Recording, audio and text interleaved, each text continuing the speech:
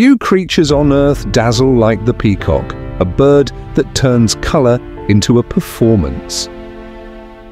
But did you know that peacocks don't all look the same around the world?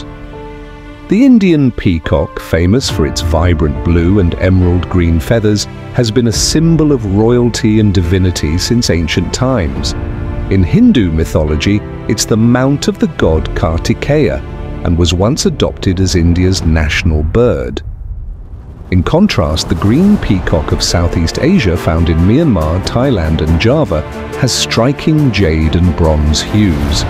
Slightly more aggressive and louder, it thrives in dense tropical forests. Then there's the Congo peacock, Africa's hidden gem.